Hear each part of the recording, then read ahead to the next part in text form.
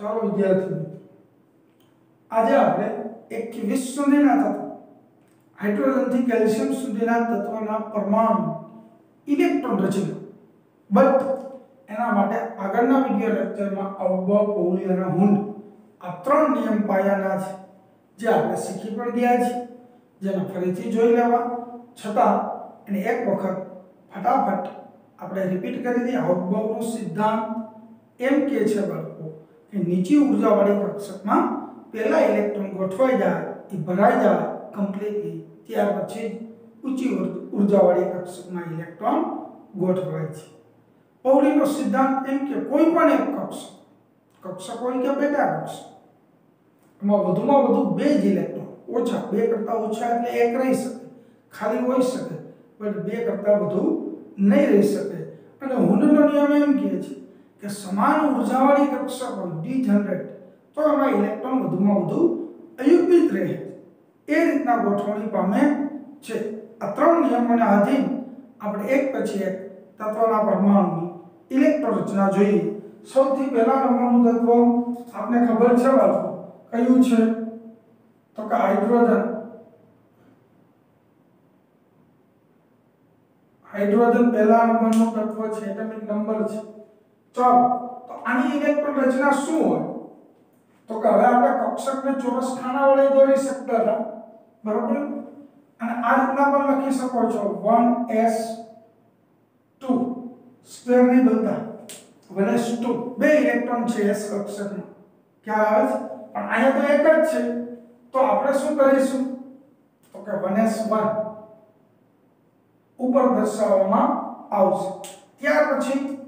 બીજું તત્વ કયું છે તો કે હાઇડ્રોજન પછી હિલિયમ સેકન્ડ નંબર ઉપર છે અને જોવો છે હિલિયમમાં કેટલા ઇલેક્ટ્રોન હોય બાળકો એનો એટમિક નંબર 2 છે ટોટલ 2 ઇલેક્ટ્રોન સૌથી ઓછામાં ઓછી ઉર્જા કેની છે તો કે 1s ની તો ઇલેક્ટ્રોન ક્યાં ગોઠવણી પામશે તો કે s માં તો 2 રહી શકે છે પૌલીના સિદ્ધાંત મુજબ 1s 2 ક્લિયર ત્યાર પછી કયું તત્વ આવે છે હિલિયમ પછી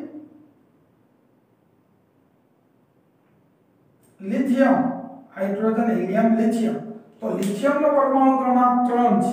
3 ઇલેક્ટ્રોન છે જોઈજો હવે. તો એમાં ઇલેક્ટ્રોન કઈ રીતના ગોઠવણી પામશે?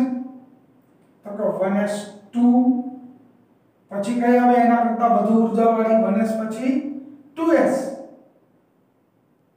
1s2 2s1 થઈ ગયા ત્રણ. પછી હોય તો નહીં ગોઠવવાના. જેમાં હોય એમાં આગળ આગળ ત્રણ નિયમના આધીન ગોઠવતું જવાનું છે ચાલો આ થઈ ગયું ક્લિયર ત્યાર પછી કયું તત્વ આવે છે બાળકો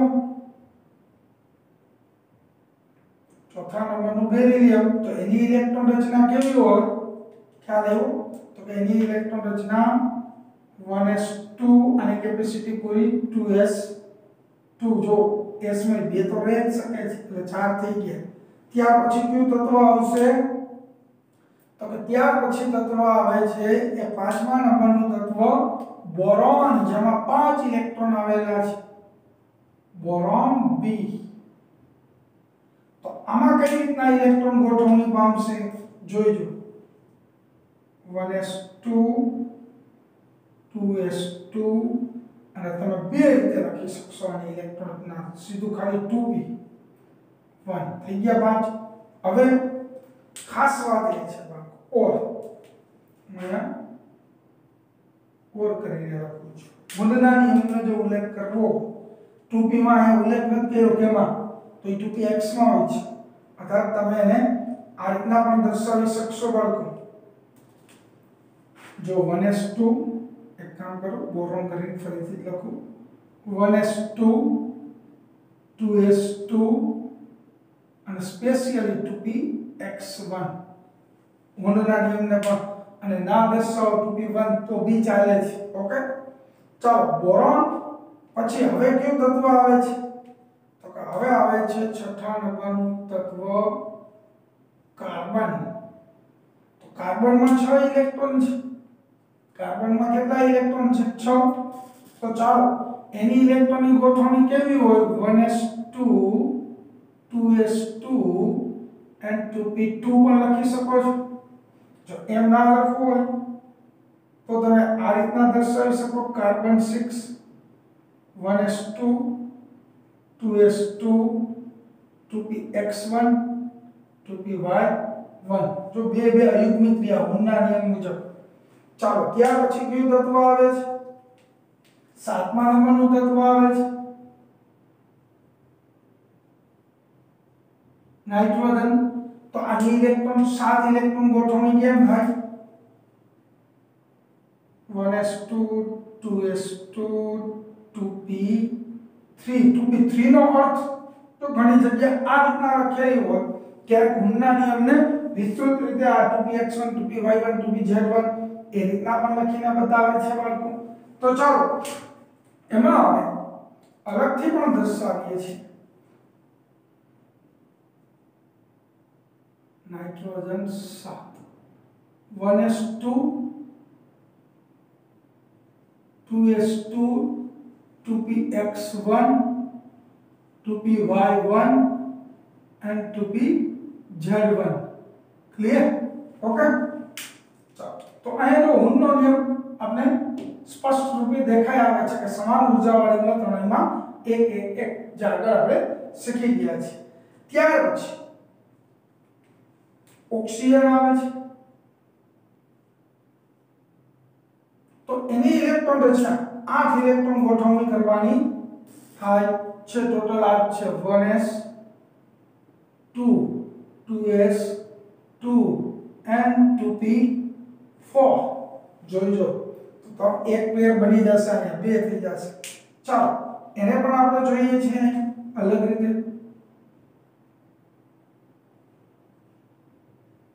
1s2, 2s2, 2px, 2py and 2pz જો ચાર ગોઠવવાના હોય તો પહેલા ત્રણેયમાં એક એક એક ચાર ને ત્રણ સાત. આઠમો આવે તો આમાં યુગ્મ બને હુંના નિયમ મુજબ.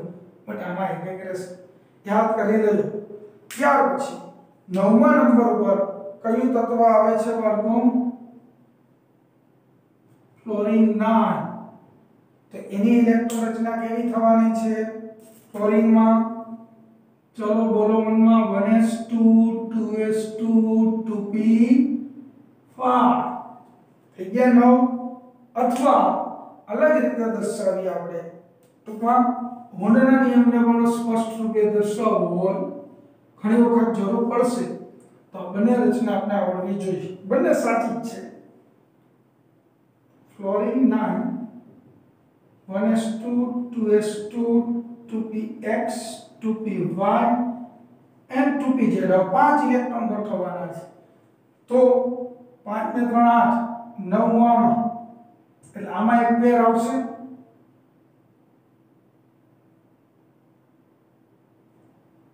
નવ ને બે બે ચાર ચાર ને ત્રણ સાત આઠ ને નવ આ બંનેમાં શું થઈ જાય પેર આવશે 2px2 2py2 થઈ ગયા નવ અને લાસ્ટ તત્વ કયું છે બાળકો દસમા નંબરનું નવ નિયોન કેમ નવ પછી દસ ચાલો નિયોનની ઇલેક્ટ્રોન રચના કેવી થાય તો કે 1s2 2s2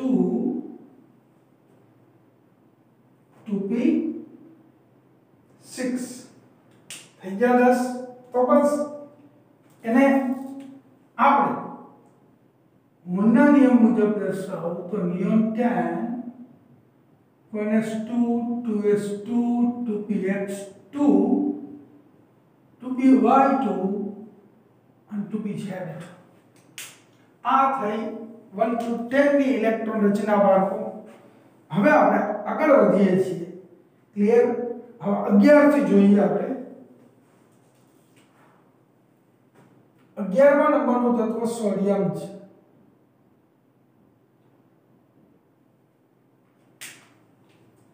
અગિયારમા 11મા નંબરનું તત્વ કયું છે બાબુ સોડિયમ. તો આપણે એની પણ ઇલેક્ટ્રોન રચના જોઈએ સોડિયમ 11 એમાં કઈ રીતના ઇલેક્ટ્રોનની ગોઠવણી થવાની છે?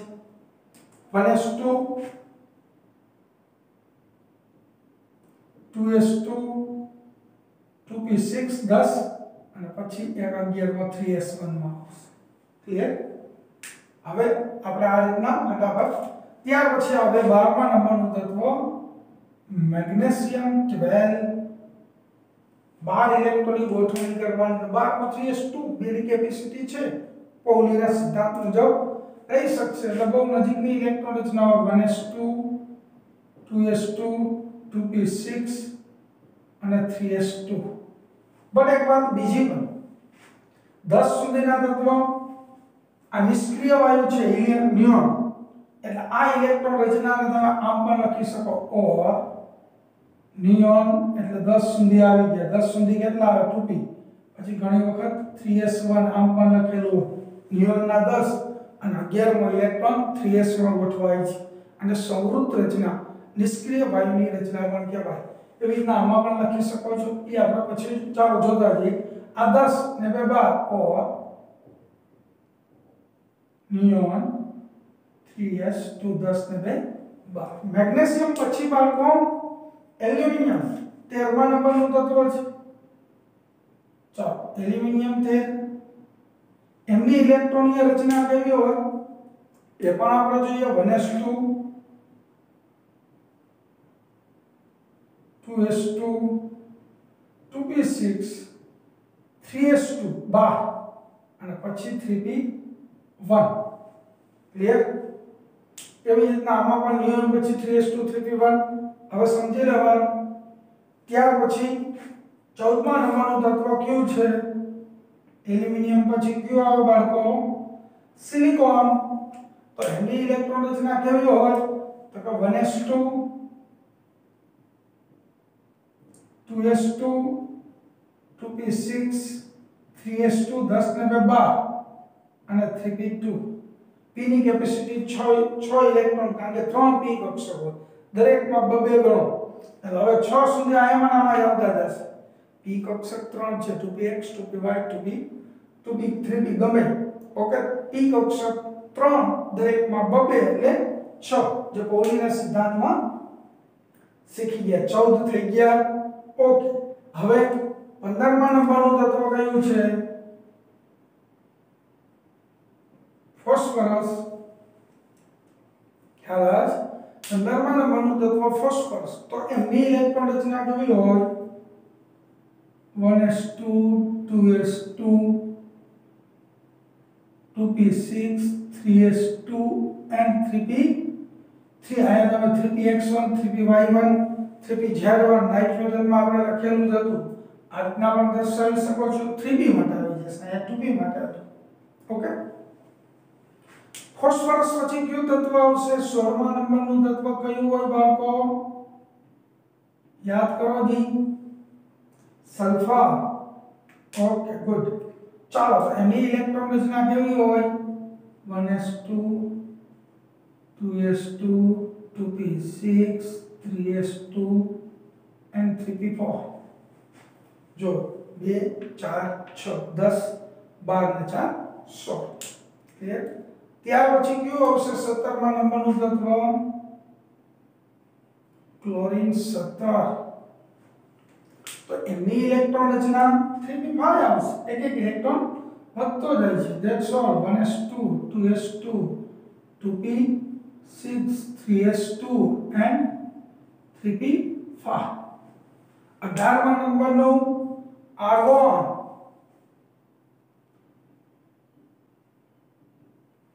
એમની ઇલેક્ટ્રોન રચના કેવી હોય તો કે એમની ઇલેક્ટ્રોન રચનામાં અહીંયા 3p6 p ની કેપેસિટી પણ પૂર્ણ થઈ જશે 1s2 2s2 2p6 3s2 and 3p6 જો p કક્ષક ફૂલ થઈ ત્રણ હતી ત્રણેયમાં બબે તો હવે આવશે 19મો ઇલેક્ટ્રોન એ 3p પછી કઈ આવશે હવે જો ત્યાં ભૂલી ગયા હો 3p પછી 3d આવે 4s આવે ત્રીજા નંબરની કક્ષા આની શક્તિ n l દ્વારા n બરાબર 3 ને d એટલે l બરાબર 2 અહીંયા ગણો g n બરાબર 4 ને s આ 4 તો એનો અર્થ 19 ઇલેક્ટ્રોન જેની ઉર્જા ઓછી હોય 3d ની જગ્યા બદલે 4s માં ગોઠવણી થશે ક્લિયર એટલે 19 માં નંબરનું તત્વ આવે છે પોટેશિયમ તો એમની ઇલેક્ટ્રોન રચના કેવી જોવા મળે છે બાળકો 1s 2 2s2 2p6 3s2 3p6 અને 3d માં આવશે તો કે ના કારણ કે n l આનું 5 ને ફોરસ નું 4 આઉટબાઉન્ડ નો નિયમ નીચી ઉર્જા વાળીમાં ભલે અંદરની કક્ષા ખાલી રહી હોય બહારની હોય તો પણ ફોરેસમાં એક ઇલેક્ટ્રોન ગોઠવણી પામે છે અથવા જોઈ લો પોટેશિયમની ઇલેક્ટ્રોન રચના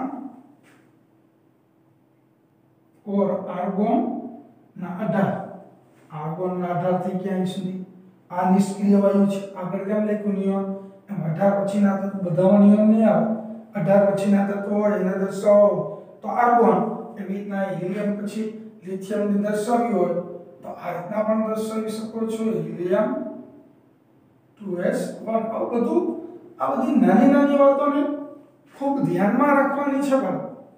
ઓકે? ચાલો, આ બંને એક જ થશે. આર્ગોન પછી ફોરેસ 1 ત્યાર પછી વિશ્વમાં નંબરનું તત્વ કયું છે? તો કે કેલ્શિયમ.